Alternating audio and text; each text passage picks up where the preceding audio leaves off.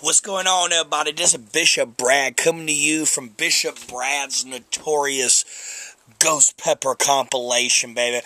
Coming to y'all on a pepper that has grown in so many varieties of different shapes and crosses and has has worked its way up the ladder of being right beside the jalapeno and the habanero at the grocery store that has created so many business opportunities for for for for restaurants all over the world when it comes to chili challenges.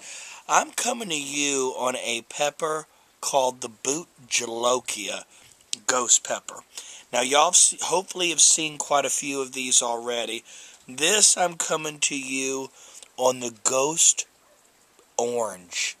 This is a Bhut Jolokia Orange coming from my buddy Mr. Jacob Deathridge of Deathridge Peppers, man.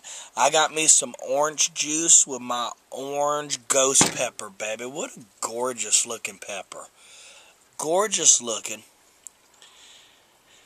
Yeah, it's it's pimpled out on the outside. Now, I would imagine these will be a tad smoky, but more citrus than anything. So here's what we're going to do. We're going to cut this baby open. Banging it, bang, bang, bang, bang, baby. Look at that love. Look at that. Good Lord have mercy. Citrusy love, bhut jolokia style, baby. Coming to you on the orange. The orange ghost pepper. Let's roll.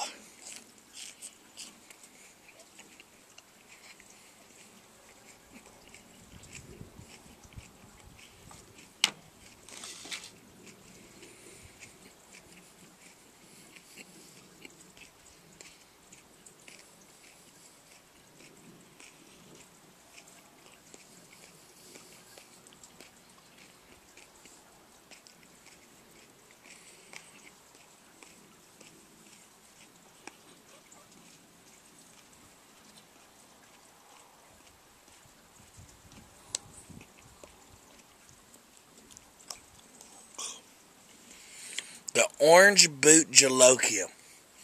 Sweet, citrusy, very good flavored pepper.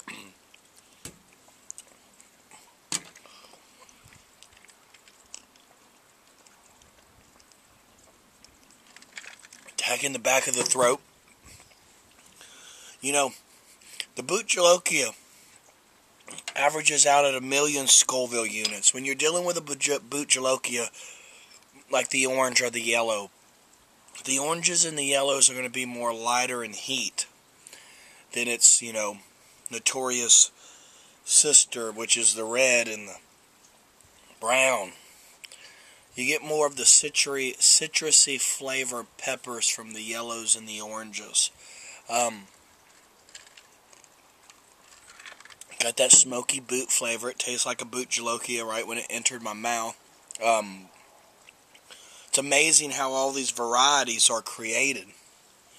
Heat accented on my tongue and the back of the throat. It's not real hot at all. But it's a little bit hot. Thing about the ghost peppers, it keeps getting hotter and hotter and hotter. Because it's hotter now than from when I swallowed it.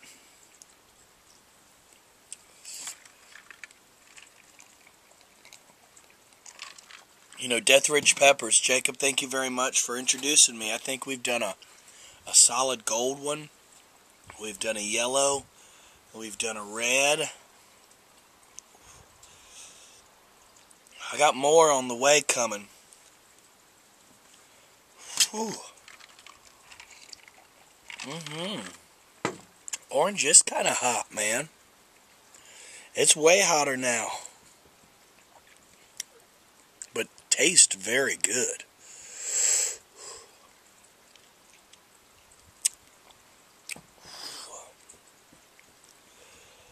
The Orange Bhut Jolokia was the world record holder. Came in at over a million Scoville units, a million.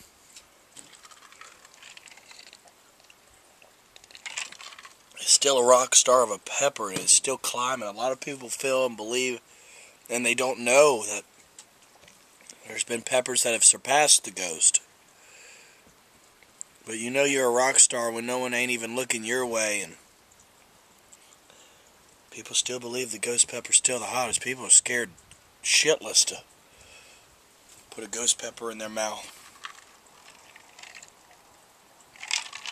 But then again, people are scared to put a habanero in their mouth if they're not used to heat. But yeah, man, the orange bhut jolokia ghost pepper, adding into the variety that we've been learning and having fun together, and I've been getting beat up by this love. It's Thursday night. It's time for football. It's the first game of the NFL football season. This is Bishop Brad. I want to thank Jacob. Want to thank y'all for tuning in on my Ghost Pepper compilation so we can learn about all these varieties together. The Orange Bhut Jolokia Rockstar, baby. Love all y'all. I'll see y'all on the next video. Bye-bye.